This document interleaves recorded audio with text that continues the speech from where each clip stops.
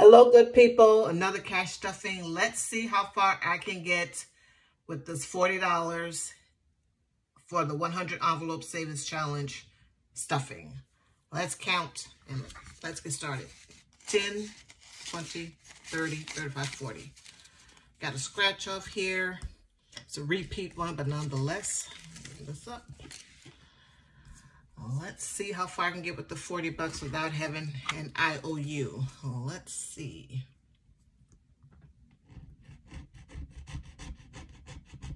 Twenty-one. Okay, I'm gonna have to do some counting here. Okay, twenty-one.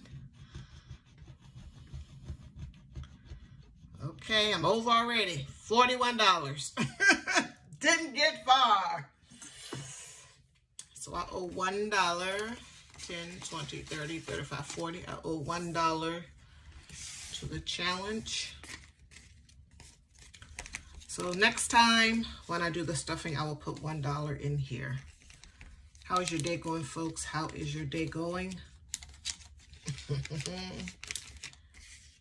Mine is, uh, well, not so good. I'm a dollar down for the cash stuffing, but things could be worse. But I hope you're having a great day.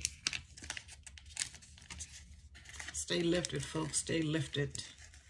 Times are hard and have been hard for a long while. So you got to keep the faith. And as you know, if, if you, me, and the next person need to do something different, we got to do the something different. Get the, get the information, the resources, the help, whatever if we need that in order to do something different to start the process of the different thing that is going to make our lives better. But yeah, oh, one dollar to the savings challenge. Okay. As always, I do appreciate your time. Thanks so much for being here. I'm going to, you know, clean that up after.